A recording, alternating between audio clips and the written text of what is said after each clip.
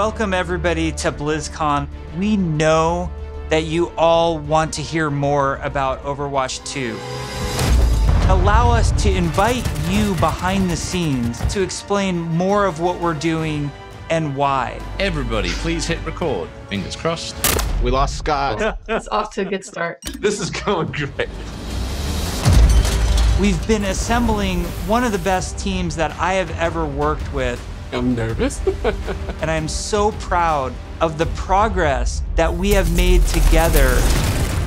we really liked the stylized drop down. Imagine that it's coming forward, boom, boom, This starts to spin. the scale and the scope of this game have meant that we've needed to grow substantially. Just have we have to. Sorry. Let me start. over. Overall, I, I think we've done incredibly well as a team moving to work from home. Oh, shadow play. There have definitely been challenges, but the team is really putting everything we've got behind this game. To me, it's the next big step in the Overwatch universe. New heroes, game modes, major story beats. With competitive and PvE, I see Overwatch 2 as the Overwatch for all of my friends. You know, we're always inspired by what story and franchise development does with their animated shorts. We really wanted to bring that cinematic experience into the game. You can invest in your heroes and grow them over time. I'm super geeked out about Overwatch 2. I can't wait for people to play this game. It just gets better and better. There are some things that we just can't do without a sequel. So, thank you so much for your patience so far, and I hope you enjoy this behind the scenes look at Overwatch 2.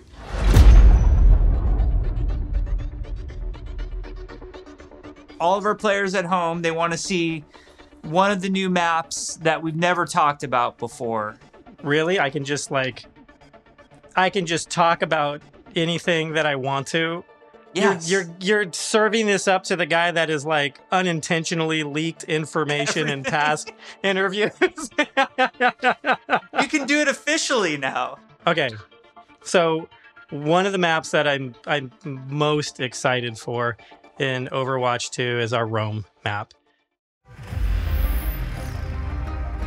We always want Overwatch to feel like this globe-trotting adventure for our players. So we're having a lot of fun coming up with the Overwatch version of Rome. We wanted a very romantic, sort of this powerful feeling of old world architecture. One of the most exciting things for me is the early building of these maps, where we get to sit down together with key people from the environment team, level designers, effects groups. We'll spend some time talking about moments in the game that we really want to see, like the Colosseum or a grand view of the hills of Rome in the backdrop. And then we'll go back and do a paint over or we'll do a concept painting of certain things based on that.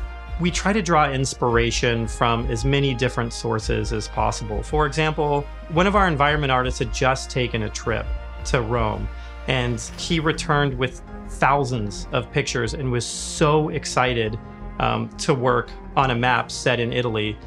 There's a lot of ancient architecture in Rome that represents the, the empire that it used to be. So we brought some of that back. Some of the things that are destroyed in real life, we kind of rebuilt in a kind of an Overwatch style. It's one of the most beautiful pieces of environment art that I think we've made for the entire game, and it just absolutely took my breath away. Can we reveal more maps? Yes, Scott.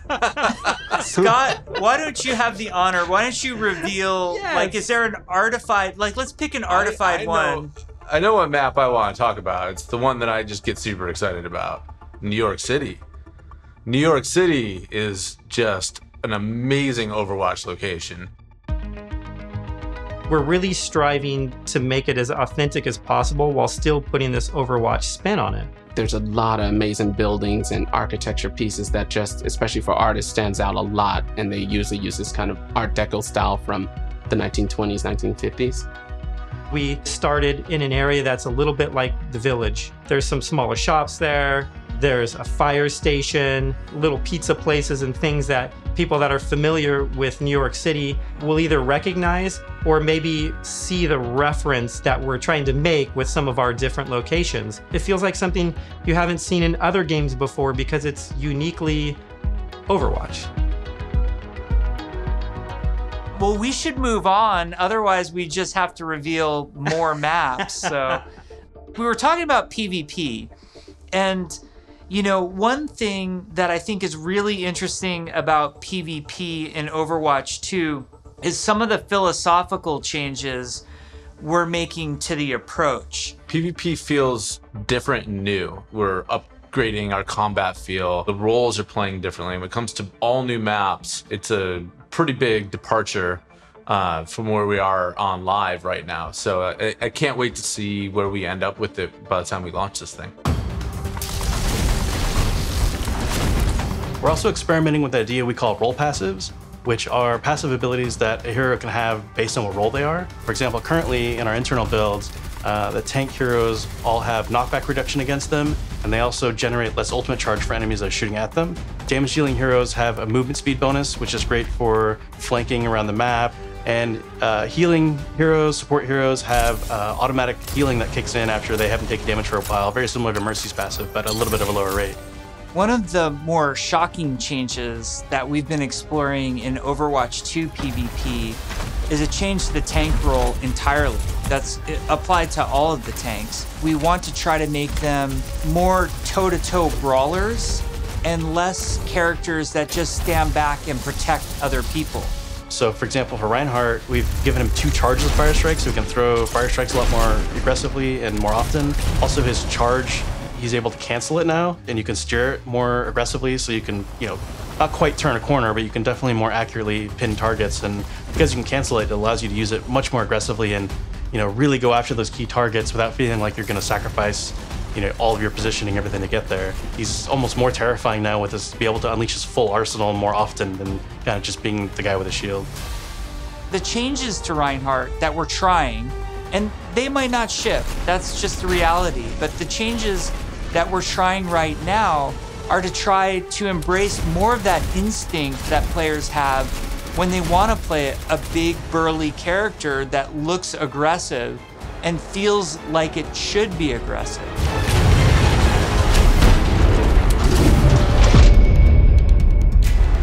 Shortly after BlizzCon, we, we spun up this group, our combat field group, um, to really just work on what happens when a player holds the trigger. We're putting a ton of effort into looking at all of our characters um, and trying to give them even a more visceral weapon feel. From sound to VFX to animation to the design of these units, all new sounds for, for a lot of our weapons in the game, and a whole new sound system that's driving it. And we didn't just level up a unit, we leveled up the rest of the game.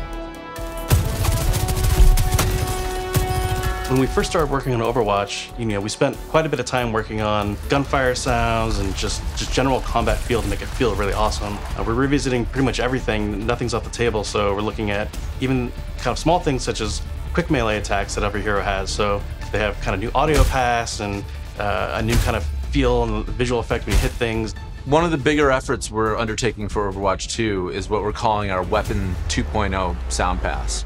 What this is is a big overhaul to the weapon systems in the game. That means the way the gun feels in your hands, you could feel the ammo running out as you're getting lower on the clip. We've really tried to amplify those sounds to better encapsulate the gameplay and the gunplay that comes with Overwatch 2.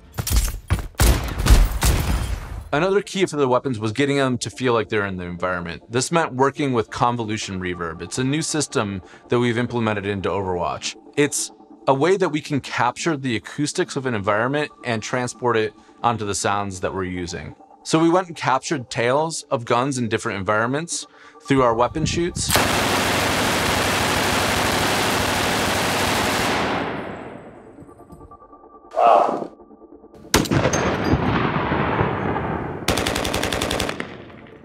And then we've cut them and applied it so that we can support a lot more environments. Now we're sporting outdoor, urban outdoor, warehouse tails, tight tunnels, small rooms, and it gives a lot more presence to the weapons and the way that they react in the world. The shooter genre has evolved a lot since Overwatch 1 came out. On top of that, I think we really want to push the visceral nature of how we do combat. So we focused a lot, not just on the wonderful sound effects, but also with how the, the gun moves as you shoot. You know, so you can really feel every single shot leaving the chamber. And there's a lot of subtle little tweaks we have to do on the gameplay engineering side to make that feel really visceral. Everything from making sure that the camera shakes are crisp, making sure that if you get shot, you know exactly these tight indicators show up on the outside of your reticle. All these things play into making the game feel not just tight and responsive, but also modern and up to date. Take 76, for example. What we wanted to do in Overwatch 2 with his weapon was make it really feel incredibly powerful, and that happens with a bunch of different elements that mix together. But it really feels like the gun is almost just outside of your control. A lot of that comes down to this camera shake technology, where every, every time you fire the weapon, you want to feel like it's running through your entire body, and the camera shake gives that extra bite to every single shot out of the chamber. It makes him feel really great.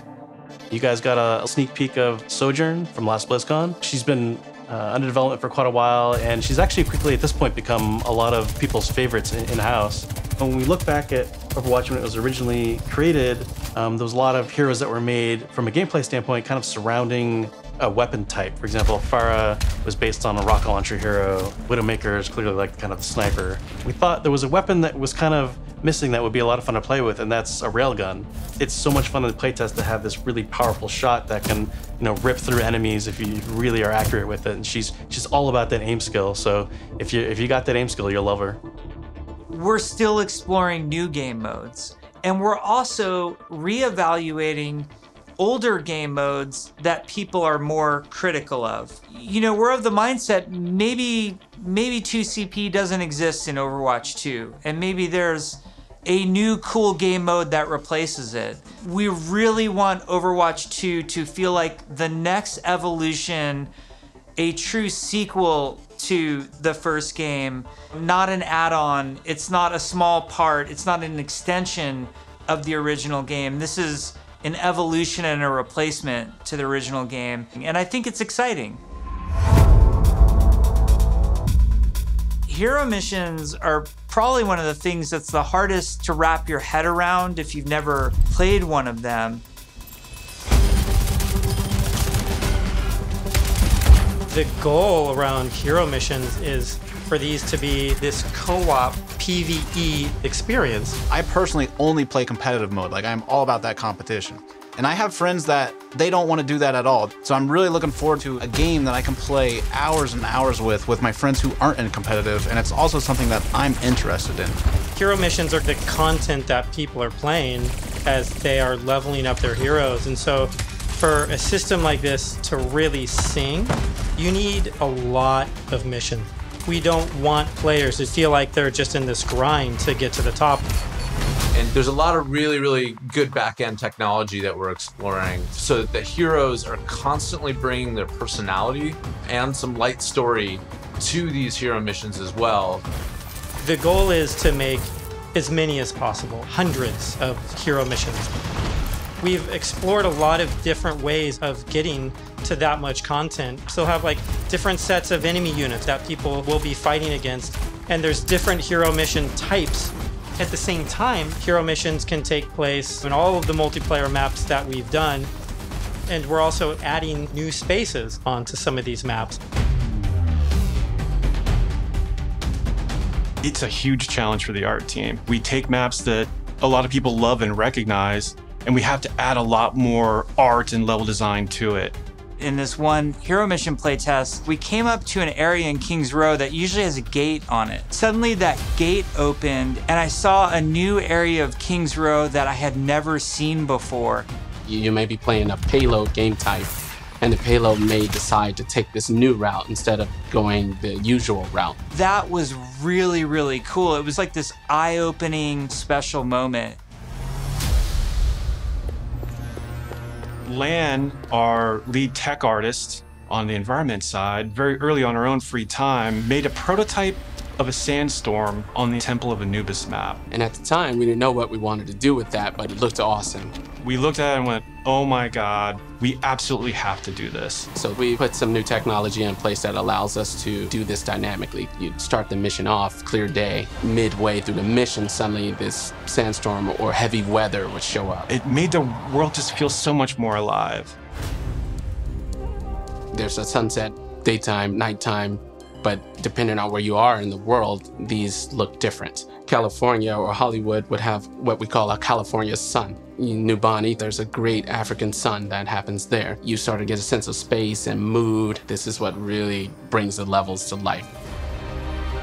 For me, the dynamic world's exciting. Just seeing these dramatic landscapes, the wind and the atmosphere blowing by. It's a much more cinematic experience for the player. Before you start a mission, you look at a map. It's nighttime in Necropolis, or there's a sandstorm in Necropolis. Players can make some comp choices based on knowing this information. Characters like Hanzo or Widowmaker start to be a little more valuable because they have abilities that allow them to see through the sand more clearly. Are we going to talk about any of the types of objectives in hero missions? Yeah, let's let's talk about the objectives. Players are being asked to do different things from one hero mission to the next so that they all feel really fresh to the player. For example, we have Gather and Return, where you're trying to go and grab these different canisters to kind of safeguard them so they don't go off and affect the population in a negative way. It creates this really cool tension in the world where, on the one hand, you're trying to split up and go grab all these canisters to be as efficient as possible, but at the same time, now you're having these sort of special enemy units spawn that are really difficult, and if you kind of get caught by yourself, it turns into a pretty bad situation really quickly. And it feels extremely cooperative and like a very different way to interact with the Overwatch universe. We're experimenting with all sorts of ideas, and just internally, we have names like Wall of Death, Scavenger Hunt, and Kill Quest, and all these new mechanics and enemies for people to experience. Players will be able to jump in night after night play different hero missions, and then work through the progression system, leveling up their heroes.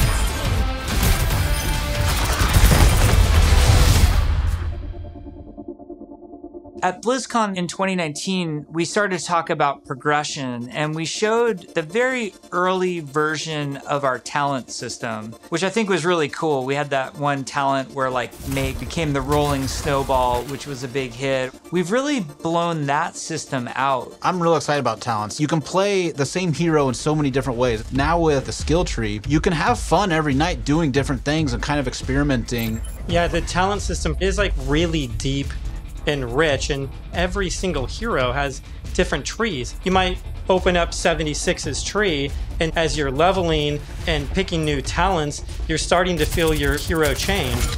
We've had some pretty hilarious versions of the healing one where his biotic field travels with him. It also repulses enemies. We called it the snowplow build, where 76 is like running through spaces, pushing enemies away from them.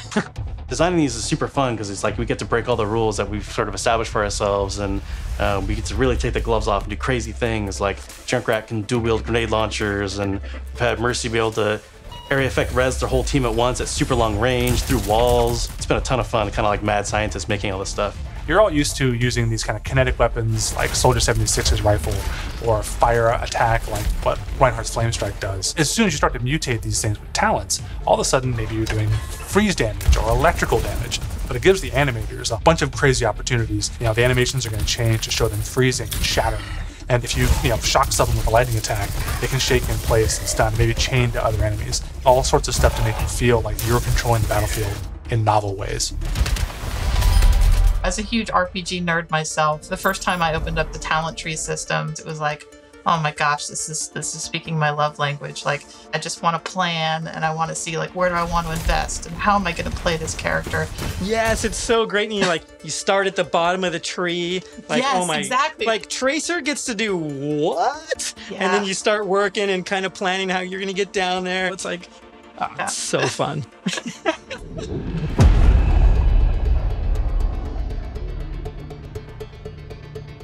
When we look back at BlizzCon 2019 and we talk about some of the criticisms that we had, one of them as a development team that we felt was that the combat was just not engaging enough. So the fact that our combat wasn't highly engaging to us as players meant that we had a problem with the enemy units and that they just weren't feeling interesting enough just because we show something to the public, it doesn't mean that that is what it's going to be. If we make discoveries where things aren't working how we want, they're not reading how we want, they're not fun enough, we're totally down to reinvestigate, reiterate, and just really find ways to level kind of all aspects of things until they feel good. I would say a major focus of all of 2020 was to make the null sector enemy units more engaging. And some of this was adding new units and evolving other units that we had. Interesting combat for us is varied combat for us. So sometimes we're going to ask you to protect something in Overwatch 2. Sometimes we're just going to ask you to get someplace. Sometimes we might ask you to escort something across a map while it's being attacked. And so it's a different type of spawning and it's a different type of units that are that are in there and it's a simpler objective. There's a lot of units Aaron is talking about. Lots of different units, lots of different types. They serve different purposes. You do different things to them. It's really going to help a lot of us find the fun and make sure that Overwatch 2 is a blast. One of those sets of, of enemies is, is what we internally call objective units. And they're typically units that don't even attack players. The simplest version would be something like the Breacher. It's two legs with this huge bomb on its back. It was built to do one thing slowly and methodically march towards its objective, and then it transforms, and the bomb opens up like a flower. It starts spinning and charging up, and you hear this awesome sound, and you know you have a little bit of time before it's going to explode and you have to take it out.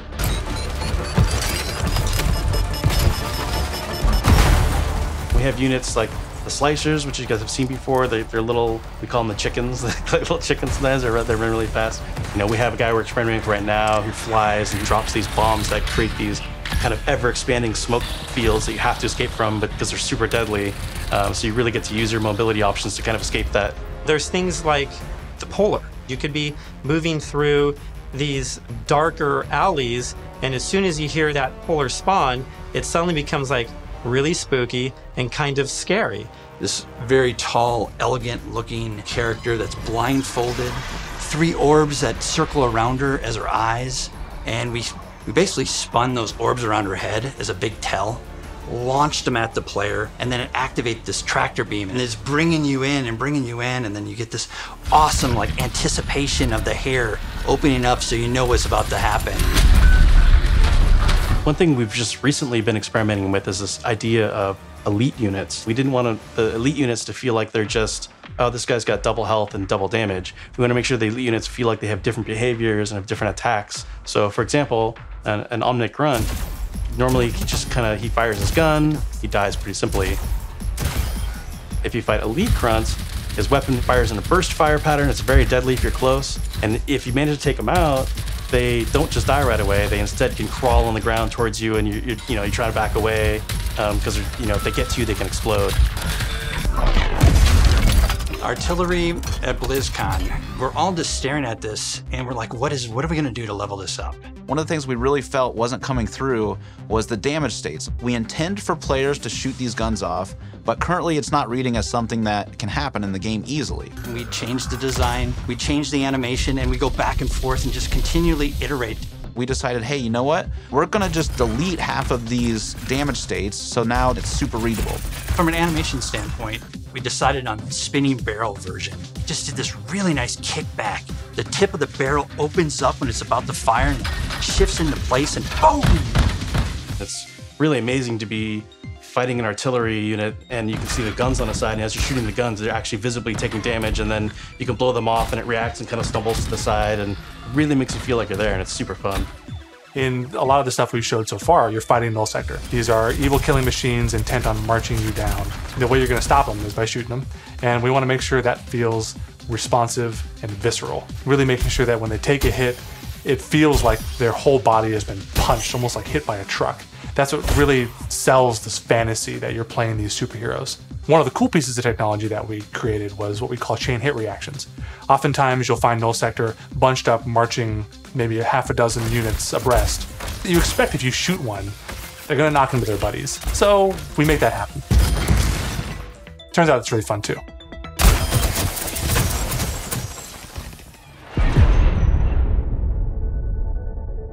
One of the things that we showed last year at BlizzCon was the new looks for our heroes. The theory kind of going in was like, you want to preserve the essence of your hero, but also kind of show that that heroes evolved and kind of changed and moved forward. So we have a lot more new looks. So I'm excited to see how players and fans react to all of the ones that we've done so far. Maybe we'll share some of those new looks uh, Yeah. today, which would be cool. We're going to reveal uh, McCree's new look for Overwatch 2 as well as Pharah, and we're really excited to show off some of our first villains uh, with Reaper and Widowmaker. But first, I wanted to talk a little bit about technical wear, kind of like technical clothing. What that really is is using you know very techy fabrics as well as you know having very intricate but functional straps designed in a way that is very aesthetically pleasing. With McCree, we took a couple different approaches. He's got this classic cowboy look that it's really hard to mess with because if you try to make him too sophisticated or too techy, it might not feel right for the character. But as a concept artist, you always want to change things around and try different shapes and, and silhouettes. So we did identify as Red Serape as the main thing for McCree. We also tried a couple different things with McCree's cowboy hat. We didn't really want to mess with that too much because that's a very iconic part of him. So that's another piece that we that we kept. We tried some retro cowboy looks that mixed in some tech here and there. Um, some that were a little bit more techy than others, some that were a little bit more classic cowboy. We gave him a little bit of a longer beard, and it really gives him a nice kind of like a, a more aged look. What's different about Pharah than some of our other heroes is Pharah's completely covered in armor. We didn't want to change her silhouette too much. Um, it was more about experimenting on different colors. So it felt really appropriate for her to be the one to harken back to those original Overwatch colors of white and blue. One of the things that we wanted to update on Pharah was her visor. Instead of being completely opaque and reflective, we tried a little bit more of a transparent approach and being able to see through it a little bit now allows us to see some of her some more of her emotions. Reaper was actually the ones I was very excited to work on because I could see a lot of potential in how we can integrate his cloak and his cowl and his armor and how we can make all those shapes really sing within that classic, you know, Reaper silhouette. We tried a couple takes with the first pass, like completely silver arms, more layers to his jacket. Reaper's mask is obviously pretty sacred to us, but the thing you'll notice immediately is that it's now completely silver. Instead of the bone white, he's got the, this like almost like deadly edgy silver that just gives him that classic Reaper look. With Widowmaker, we started with the idea stage, exploring a breadth of ideas. We tried things like a more insectoid approach, treasure hunter. One of them made her feel like a classic Bond villain, so we kind of steered it back towards one of the more cyberpunk looking ones, almost like a futuristic femme fatale, which is basically what Widowmaker is, but she even feels more upgraded. So I'm super glad that we went down this route. We played with different hairstyles too. Widowmaker has the really long ponytail that's really key part of her look and we really liked the hairstyle on one of the designs that was more of a parade and it was really interesting look that also preserves Widowmaker's original silhouette with that long ponytail. We've been working a lot with um, our domino engine and making our cloth look better. Now that we have this cloth tech, we're going to be able to make some really cool, unique silhouettes that will help them stand out from other heroes.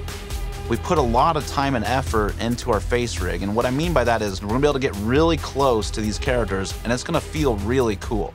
It is absolutely worth the time and the effort to invest in the technology, and that way we can make these characters do more things that we haven't really been able to do before. It's been super exciting working on the new looks for Overwatch 2, and it's just been so inspiring to watch the team try things that we've never tried before, and I just can't wait to show off more in the future. Overwatch 2 is probably the largest opportunity we've had since the inception of the franchise to really expand what Overwatch even means to our players. In Zero Hour, we saw that some of the heroes got back together, but we're also seeing that there seems to be a second huge Omnic uprising. We're going to learn who's behind that uprising, why that's happening, how globally spread is it? The story and franchise development group, they were really the torchbearers of what the big story is that we were going to tell for this game. We have a lot of interaction with them. They're working on in game cinematic intros and outros for every one of our story missions. It's been really great to see this collaboration grow and develop. The story is just a little more integrated into our missions than it ever really has been before all the available heroes get dialogue for a given mission. We have NPCs, we have multiple hero choices. We have all sorts of events that are happening that are driving players to interact with each other or parts of the environment or other characters. The world of Overwatch is this bright, shiny future. So, how do you take that bright, shiny future and create conflict in it? How dark can the world of Overwatch go? The different challenges that these characters are going to have to overcome in Overwatch 2 are things that they haven't ever dealt with before or dealt with on this scale. So, what we had to do was literally strip it down to those bare bones of where are these characters in their lives. Overwatch has been disbanded, and now there's a situation where the world's in trouble again, and the world needs the heroes again, but they're not allowed to be doing what they were supposed to be doing. We started to book these offsite locations so we could brainstorm over and over different versions of what the Overwatch 2 story campaign could be. And we basically had these whiteboards that we were carting around everywhere. The room was filled with whiteboards, and we would just write every day story beats with the characters and who was doing what and where. And oh my gosh, we forgot this character. We had these giant sticky notes, and each one of them would be a mission with a bunch of notes on it. You know, somebody say, Well, what if we moved Rio to the end? And they'd physically grab it off the wall and stick it on the end. And we did this for a while, you know, until we all felt that it was pretty close to what we wanted. Then we could send it to our writers' rooms. The writers' rooms then had a much clearer direction of where we wanted this process to go. Ultimately, we come up with something that we think is right uh, for the game. And then we pitch it back to the game team and they point out everything that uh, we missed. And that allows us to actually back up and go and make it right and make it better. Because the scale of this story is so huge, it takes place over the whole world basically.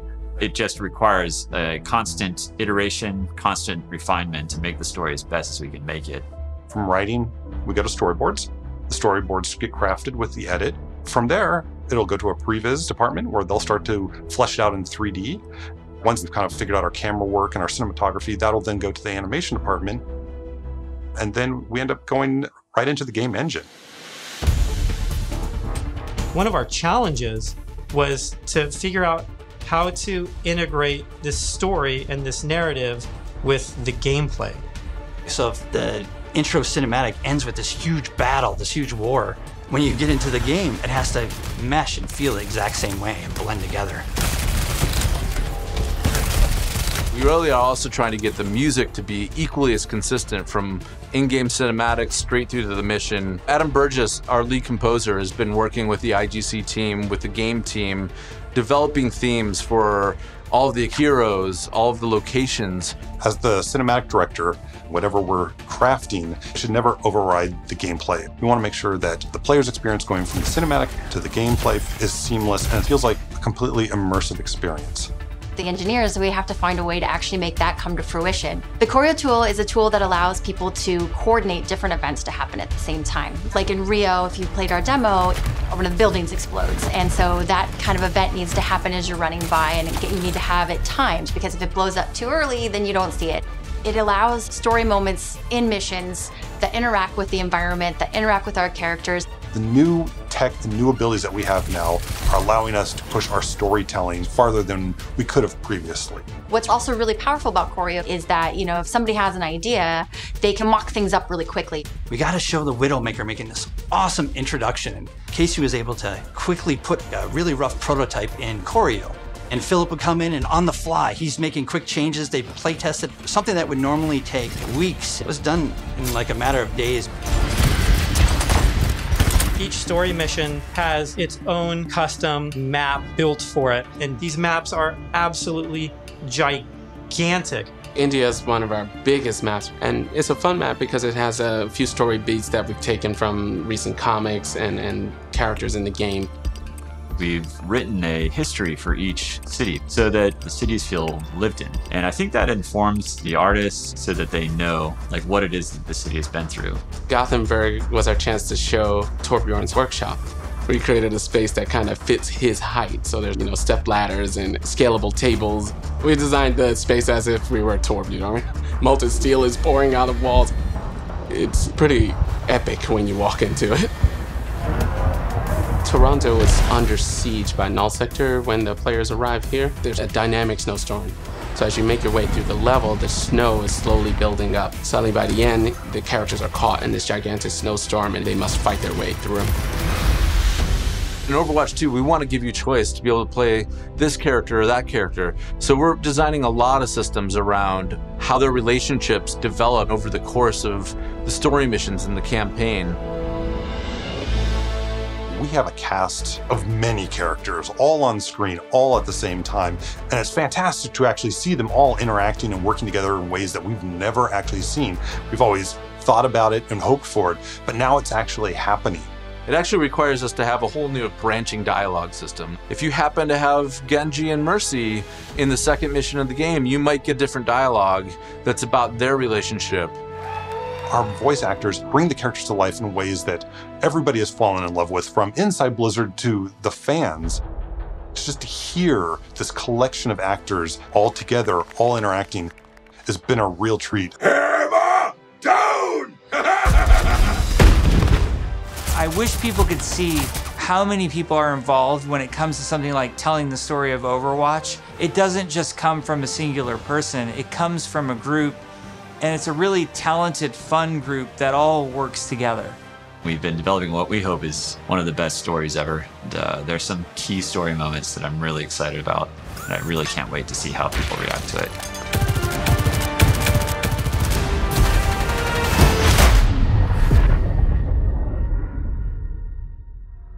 We've been talking about the game, about the, this universe. I know you all love it so much. Right now, we can sit down and have a night of Overwatch 2 and have it be a really fun experience. And I think we need some more time till we can say it's perfectly polished in the way that we want it. We've made such incredible strides since we first announced this and showed it to the community at BlizzCon in 2019. The thing that I'm most excited about is that moment when we hand the game over to the players. We want to create something that really moves people, really touches people. That's why we do it. We create the game because we want it to become part of your life and for you to experience it. For Overwatch 2, we're upping the bar. It's kind of five games in one. It's a huge undertaking. The new tech and the new aesthetics for the new looks bring you closer to the characters that you love, and we're just getting started. The fidelity of the gameplay experience is much richer. We are making cinematics that push the boundary of what we can do to tell stories. We want this dynamic world. We want things to feel alive. I'm really looking forward to being able to expand the world of Overwatch for our players. We're really trying to tell this epic story in order to make a game great, it takes time, energy, collaboration. We have just an incredibly professional team of designers and artists and engineers. We just love bringing this world to you guys. So many cool characters. It's just a blast working on it. Our goal is for Overwatch 2 to be the worthy successor to the first game, to be the next evolution, and to be a true sequel. We have big plans. So thank you for sticking with us. We're going to cross the finish line, and I know it's going to be awesome. I hope people just end up loving playing it over and over. That's what we want to try and capture. I'm jumping in, I'm playing. Let's go be heroes.